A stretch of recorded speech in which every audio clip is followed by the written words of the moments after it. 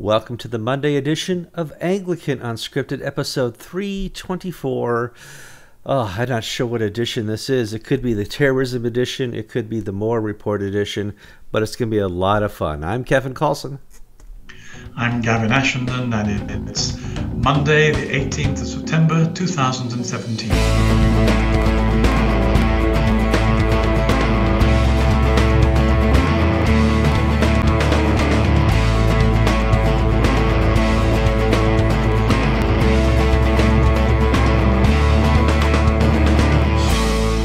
Part of our update should always be where are you recording from? Because sometimes it's well i'm over here in you know france today in the the isle of normandy and i'm just having a little fun at the cafe. Sometimes you're in russia sometimes you're uh, you know floating around europe somewhere and now I, I see something completely different and where are where is gavin? That's going to be a book someday. Where's gavin today you know, Kevin, I've just come back from a conference in Cambridge, and uh, someone was complimenting you on on, on the show and, and uh, complaining about your dog, which photobombed the, the show all the time. And I said, yes. it wasn't Kevin's dog, it's my dog. and and um, so, in fact, I'm, I'm now in the chapel of St. Michael and All Angels, which is uh, the garden shed my wife has given over to me for a chapel in England. Uh, Facebook friends will see pictures of it. And actually, we, we say morning prayer from here every morning. And on Saturday night, when I did Compline, we had 500 people join in. So it's a it's a rather beautiful shed um, and uh, set in the middle of the English countryside and there is a sense of the presence of God, a great place to pray in. And I just thought it would also mean, if I did from here, that the dog could no longer photobomb us. You'll see. you know, dogs are people we'll too. They get to be on, on camera anytime. Um, yes. For people who like the show, like those who travel and meet Gavin, uh, if you would please go to YouTube and click the like button or go on Facebook right under the uh, uh, the video you're watching right now, click like, and uh, that helps populate uh, the video further amongst the internet. I'm also taking a trip soon to Atlanta. Uh, the continuing Anglican churches are having a joint synod, and they invited me down, but uh, I'm going to have to pay my own way. Not a big deal, because I have wonderful people who like to donate to the program to, to help me travel, and I'm still, you know, uh oh, somebody's trying to contact me. Too bad. Uh-uh. Turning that off. this show must go on. Uh, if you could go to anglican.ink forward slash donate, it's in the YouTube uh, show notes if you want to just click the link. And, uh, I, you know, a couple thousand will get me there. Maybe $10,000 is fine. You know, big deal. Uh, I could fly business class for once. Uh, and that will help me get there. Um, on to the show. Since we last talked, there's been another terrorist incident, um, and it was just released by the BBC this morning that the gentleman, uh, the main suspect, is Syrian and had just uh, recently uh, crossed the border into the UK. Um, it seems like this is the standard uh, modus operandi uh, of what's going on in Europe the last 12, 13 years now. Kevin, it's terrifying. Um, several of my friends have said that their wives and children take the uh, what we call the tube, but the underground or the metro. Um, this man had put uh, an, amateur incendiary device together and filled it with nails designed to cut through the skin and do as much damage as possible. And still, the media uh, won't say they are Muslims intent uh, on destabilizing our society. So we live with this this this conspiracy of silence. Um, and in one sense, of course, this certainly means that um, uh, that, that uh, the the local Muslim community don't have to pay the price for the extremists. But but the problem is that we already know that a very large proportion of the Muslim community are in favour uh, of Sharia law uh, and in and and sympathetic to to the violence. So we we have a an enormous a problem of enormous proportions in our society, particularly when it comes to the sense that the security forces and the police and the immigration authorities uh, are increasingly relaxed about this threat um, to our to our, our safety and our social lives. It's it's really very serious and very worrying. And of course, it's throughout Europe. It is, and what worries me most is you know we've had a relative, yes, liberal press for many, many years, uh, Europe, here in America, but they've always served us to some extent. They've provided, you know, inaccurate news, a factual news, at least till the, the late 90s. Mm. Um, and now they've, you know, taken some news and said, because we're better than everybody else, we don't really need to cover this. It'll be the whole helpful for society if we just don't cover the the, the problem with radical Islam. And maybe it will just go away. And it hasn't. Um, yet the press is going to continue down this road, uh, and it's endangering all of us. Well, it really is. And it, it's partly because our society, as well as the liberal press, does not understand Islam. It keeps on imagining it's a kind of Arabic version of Christianity uh, and making false comparisons. Uh, and also, people have, have failed to study history. They, they don't understand that there is there is not a single part of the on the earth's skin where Islam has been that it's given up willingly. And the only place I can think where it's been reclaimed from its its violent hegemony uh, is, is, Spain. Mm-hmm. Um, but you may have heard recently again that Muslims have said, well, "It's ours. We're going to take it back." Um, we're living in a very serious struggle, but Western liberalism is not capable of uh, of describing it or or standing up to it. And I think one of the things that the, the Christians need to do is to recover the voice and say, look, um, this really is a, a, most a most powerful conflict for your consciences as well as for your souls. If you don't think you've got a soul, at least consider you may have a conscience, and your conscience may need free speech, just at that level. Uh, but to do that, the church ha- the churches have to find the courage to stand up in the face of accusations of racism or, or phobia uh, and do their best to tell the historical uh, and the intellectual and philosophical truth. Okay. Yes, indeed.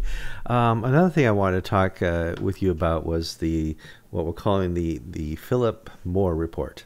Uh, Sir Philip Moore was uh, asked to write a report mm. dealing with the Philip North uh, uh issue that occurred uh, earlier this year. For those who don't know, uh, Bishop North was going to be nominated to the it was the Salisbury, wasn't it? Sheffield. Sheffield. Sheffield. That's right. Sorry. I don't. Mm. I'm not from over there. I don't know all your dioceses by heart. Um, to to the See of Sheffield, he's going to be the bishop there. Um, the one problem is he couldn't make uh, the merits because he would never uh, consecrate or ordain a woman to the priesthood, diaconate, or uh, as a bishop. Um, and that just caused absolute consternation. And as a surprise to the Church of England, his nomination was uh, he he backed out of the nomination, and we now have this report, seventy five pages, written by an Englishman, uh, which is uh, brings up four grand details that we should probably talk about. First, why is the Church of England surprised? Well, of course, it isn't surprised. Um, what is discovered is that the, the compromise and the arrangement that it set out in order to go ahead with the consecration of women, in order to buy the votes of people on synod, uh, this this agreement hasn't held. What it ought to say is it hasn't held. It, again, it ought to tell the truth about it, but rather than tell the truth, it's it's it's kicked it under the carpet and had a report instead. And so here we have the report, and um, Freud Freud had some one two interesting things to say about life. He wasn't always wrong. One of the things he said that was when people protest about something too much, uh, it, it, there may be truth in there. So Philip Moore begins by saying, um, I, I, don't believe there are any villains here, and I'm not going to look for them. That means there are villains there, and he should have looked for them. Um, but but he's chosen not to make people accountable. Essentially, this was a kind of crowd-funded campaign which was designed to, to, to get a mob together to shout Philip North down and get him out until his nerve broke. Uh, his nerve did break and he and he left. There ought therefore to be some accountability for the people who got the mob together uh, to to attack him and to make him withdraw from what was a perfectly proper mutually agreed process of appointment in which everything was done right. So, what is the report to do? Well, um, if it's not to point the finger at people who deliberately tried to subvert it, then it, it's going to essentially be a form of cover up. Um, I don't mean cover up in the sense of being deceitful. What I mean is is um, uh, be less than focused about what was going on. So the first thing Philip Moore said was that, that there are no villains here, and I'm not going to look for them. And you know that's the big issue. This is, I mean, this could have been written by the British press. It's not what you think it really is. The the problem really was, you know, Philip North. The problem wasn't uh, that we're not mutually uh, uh, flourishing. It was interesting. They they brought up and how could this occur? Something called a theological challenge. You know, we, we, wait a minute. How can we have a theological challenge when both uh, communities agree to mutually flourish? There should be no challenge whatsoever. Well, for example, there are there are dioceses which have women bishops, which contain faithful traditional evangelicals and Catholics who haven't attempted to subvert the appointment of the women bishops. They've accepted the agreement. Um, it's it's a microcosm of the whole uh, struggle we have with the left. Uh, people who are progressives and hold left left of centre politics and ideologies um, are, are not even handed when it comes to dealing with moral values. So, uh, Martyn Percy, Dr. Martyn Percy, who's the Dean of Christchurch, who's married to uh, his, his wife called Emma. I mean, he would be married to his wife, of course, but his, his wife, Emma Percy, is chairman of Watch, mm-hmm. which is uh, the women's movement for uh, the ordination of women. Um, and together as a pair, they campaigned vigorously uh, against Philip North and um, were were right at the center of trying to challenge this agreed process of mutual flourishing. Now, the question is does this political activity by the Percys constitute a theological challenge? Well, no, it doesn't. We we agreed that the, the, the theology we're doing was mutual flourishing. There are two separate, uh, alternative, mutually opposed theologies of sacred ministry. We know that. Uh, this was a political action. Philip Moore, instead of calling it that, has said, well, the, the, the are raising theological propositions. So what will we do about it? Well, first of all, we miscalled it. It's not that. It, it's political.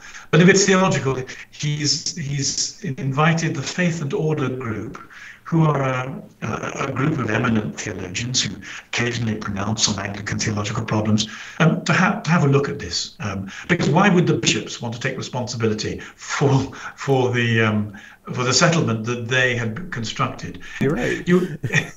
okay, well, we need to let people in here. Until I finish my coffee, there's really no show. I'm, I'm going to sip real quick here.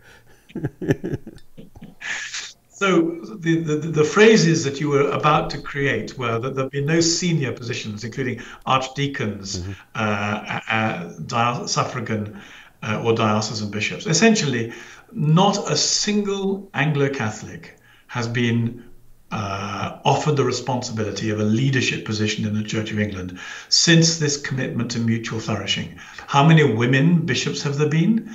I mean, you might, for example, say that if really we were committed to mutual flourishing, if this was honest and true, then you might expect the same number of Anglo Catholics to be given senior responsibility as women that have been appointed well, I forget to count how many women bishops we have now. God bless them, but there's quite a few, um, but not a single Anglo Catholic. Well, what this essentially says, the truth of this is, is there is no commitment to mutual flourishing. There might be a commitment to put up with each other for as long as we possibly can, so that uh, because it's in the interest of everybody for the whole pack of cards not to fall down. But again, we should tell the truth. This is not mutual flourishing. On the other hand, Kevin, here's the thing. If the Church of England is committed to mutual flourishing, let it appoint at the earliest opportunity as many Anglo Catholics from forward in faith to bishoprics and archdeaconries and senior canonries as it has appointed women. And then we would say, oh, look, there's mutual flourishing. It works. But it won't. no, it won't. But boy, you, you want to through if you want to prove there is no theological challenge, take up Gavin's call. You know, for every uh, female, uh, do an Anglo Catholic, and and we'll watch and see if there is mutual flourishing. But I suspect, as Gavin does, that uh, um, this was a false promise, and they're just waiting for the day that there will be no more Anglo Catholics in the Church of England? I, I, read this press release, Kevin, and, and the, the, the, title of a film came to me immediately. I, I, don't think I've actually seen the film, but the title is quite is quite poignant. It was called "Sleeping with the Enemy," yeah. And, yeah. and I thought I thought to myself, um, the the fact is that I, I remember writing something when I left General Synod in 2012, and I I said to members of the Catholic group, um, it's my strong impression that the progressives will not rest until they have driven you out of the church. They may they may do it by neglect, they may do it by persecution, they may do it by breaking promises. Uh, and so a lot of people said, look, you know, you you're wrong. How cynical. We have mutual flourishing, and we're all committed to mutual flourishing. And, and in a sense, uh, if you can't square the circle of Anglicanism, and sometimes you can't, well, that would be the least worst way of doing it. But it isn't right to pretend you have a solution and actually not implement it at all. Uh, so it'll be interesting to see if, if people go, uh, if, if, there's any any sense of resistance to Philip Moore's to Philip Moore's report, and people say, well, this is not good enough. But I'm afraid I think it's just one more one more effective. I can't use the word cover up really, but but but one more effective dodging of the issue in order to let things continue in a downward spiral without dealing with the truth or without dealing with reality. Uh, and in that sense, it's very disappointing. It is. Maybe, you know, we're Anglicans. Maybe we could have some Indaba and just talk about it some more, and, you know, while we brush it under the carpet.